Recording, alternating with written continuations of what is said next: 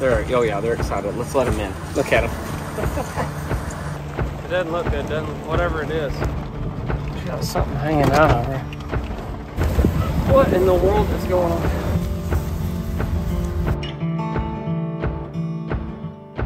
I don't think that's what it should look like.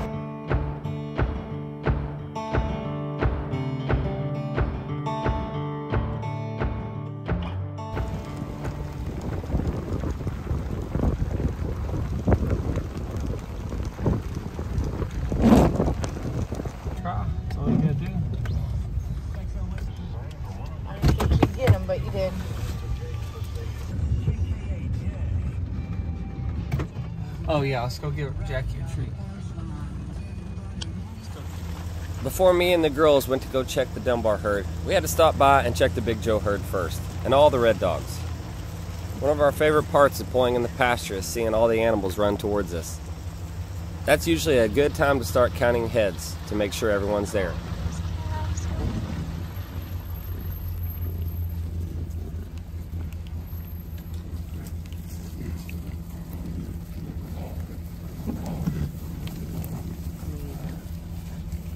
Here comes Big Joe, Big Joe.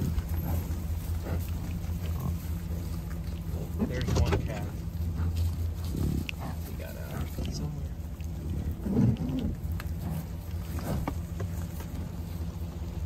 Big Joe. Okay, babe, just a minute. It was also cube day for the Big Joe herd, so we went ahead and started giving them cubes. What I noticed as I was pouring the cubes out, I looked up on the hill where we have one pecan tree and I noticed a cow hanging out by herself. If you go back and look, off in the distance you can see a cow up by herself under a pecan tree on the hill. Marissa and I's first initial thought was, she's got a calf. Once we got all the cubes spread out, we wanted to go take a look. We've been excited for all these Texas cows to have their babies for the first time at the Ponderosa. We couldn't wait to go up there and see her new calf.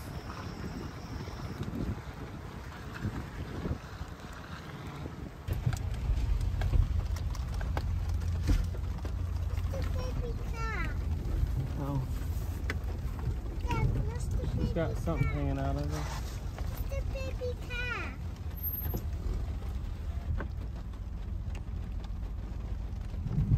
She looks like she's had it, though. Watch where you're driving, Dusty.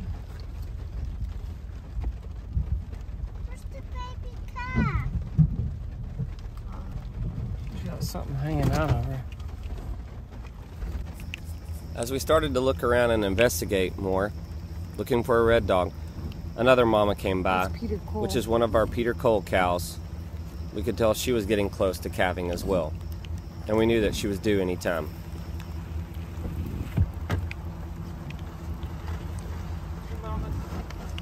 From just looking from the truck, there was no red dog in sight. I had to go take a look and walk around to make sure there was no calf. Doesn't look good. What do you mean? That stuff hanging out of her. It doesn't look good, doesn't whatever it is.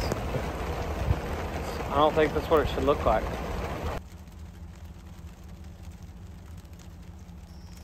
If you take a look closely at the Texas cow, you can see she has some tissue coming out of her. What was coming out of her looked all too familiar to what I saw when we recognized Belle Star had the same look-alike tissue when we first noticed her a couple months ago. If you don't remember, not too long ago, for the first time of being a bison rancher, we lost our first red dog this summer. Belle Star had a complication at birth and had a dead calf. We'll leave her alone. Gave her some cubes, but Not feeling confident with what we saw, I wanted to give this Texas cow some space, and if she was going into labor, I wanted to reduce the risk of stress. We can come back and check her after our work is done. With our goal for the day to move the Dunbar and Haas herd to the burn unit to get ready for them to go to their new hay meadow, we had to move them out of the nine acres.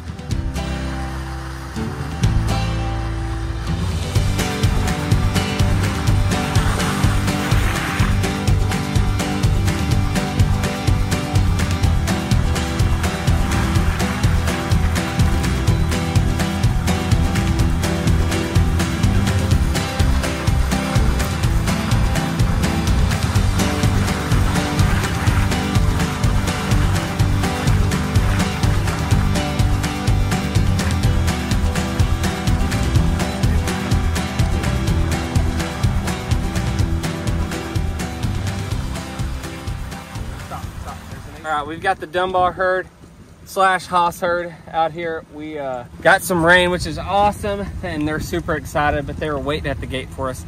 They've been in here for about five or six days. We got the hay meta ready. We've got water, we've got fencing, uh, but we're gonna go ahead and let them go in back to the burn unit for less than 24 hours. And then Marissa and I are gonna come back tomorrow morning. We're gonna bring the cubes out and hopefully we can get them in the hay meta. They're absolutely gonna love it. Can't wait for them to be out there. First time for our bison to be on another piece of land. They're, oh yeah, they're excited. Let's let them in. Look at them.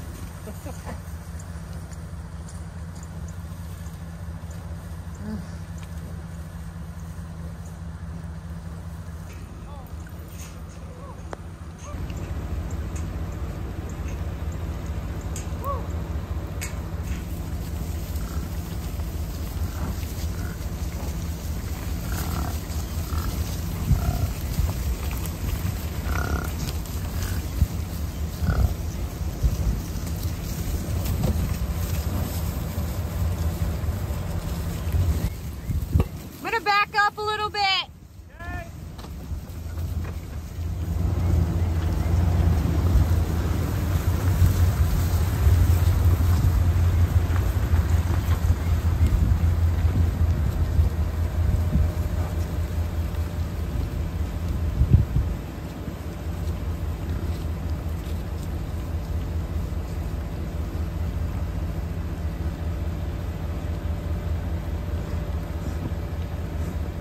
Dunbar's coming.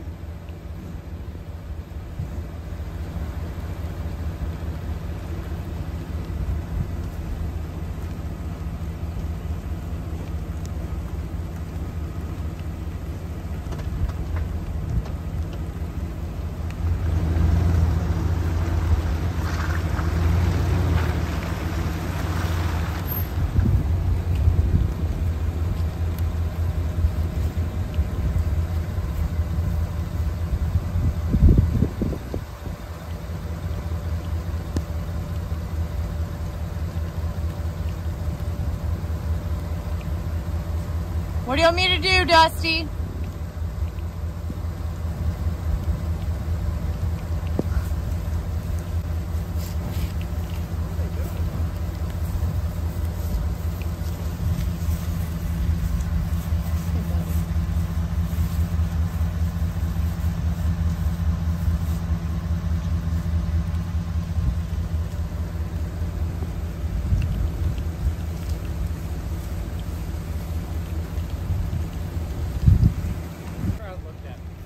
Hey, buddy, here.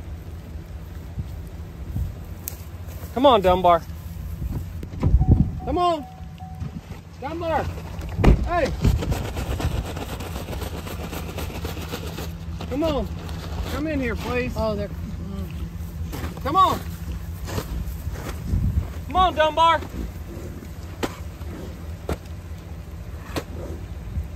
Haas is right there. Oh, What the okay. heck is wrong with them?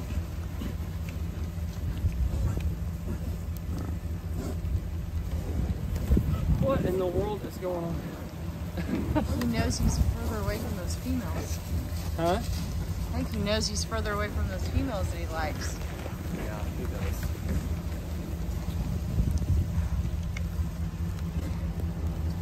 He doesn't care.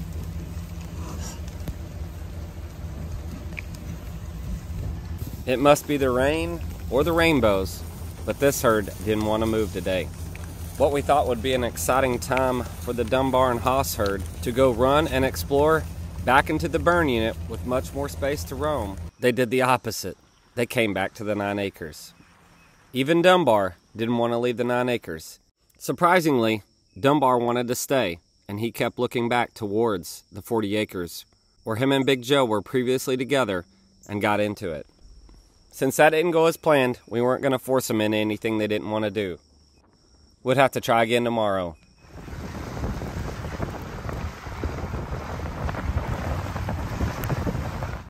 We stopped by to check the Texas cow one last time, and still no sign of a red dog.